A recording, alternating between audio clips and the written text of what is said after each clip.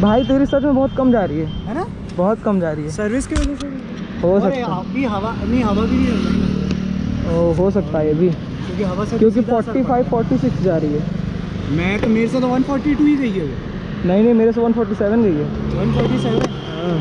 ये चली जाती है 150 के तो। ठीक है चले।